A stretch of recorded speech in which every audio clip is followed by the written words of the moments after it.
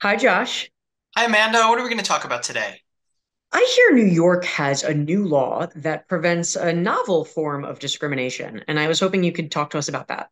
Yeah, this is really interesting. On May 26th, 2023, New York City Mayor Eric Adams signed a new law for New York City that adds height and weight to other more widely known protected characteristics like race or age or sex. So that means that in New York City, there cannot be discrimination on the basis of height and weight in public accommodations, in housing, and most importantly, for our purposes, in employment, unless those uh, characteristics are reasonably necessary for normal operations of a business. Now, you might be asking, is this a problem? Are people subjected to discrimination on the basis of height and weight? Well, at least with respect to weight, we know the answer is yes. According to one study, overweight women earned an average of 4.5% less than their slimmer peers. For men, the difference was less, it was 2.3%, but it was still significant. And we know that over 40% of American adults are considered obese. So this is an issue that affects a lot of Americans, including a lot of folks in Connecticut.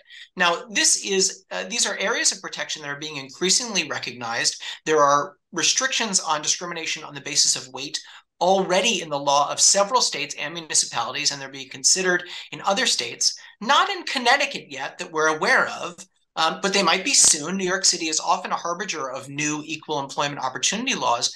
And I should add that there might already be protections for folks who are of unusual height or weight, because unusual height or weight might be a disability under the Americans with Disabilities Act or under the Connecticut Fair Employment Practices Act. So if you're a Connecticut employee who is experiencing discrimination on the basis of your height or weight, don't assume that just because you don't live in New York City, you're not protected. You might be protected, and it's important for you to consult uh, an employment lawyer in Connecticut if that's something you're experiencing at work. So useful, Josh. Thank you so much for uh, educating our viewers, and we'll see you next time.